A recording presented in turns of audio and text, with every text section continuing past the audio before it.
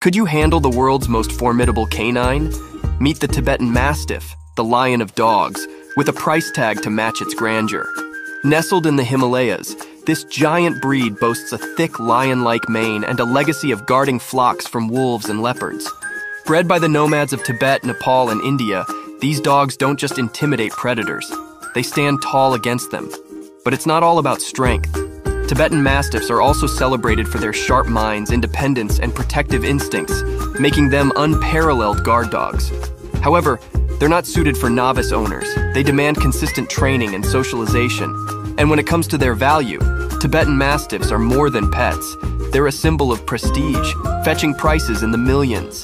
Their rarity and distinguished lineage are what elevate their worth. Don't forget to subscribe to our channel for more incredible dog tales.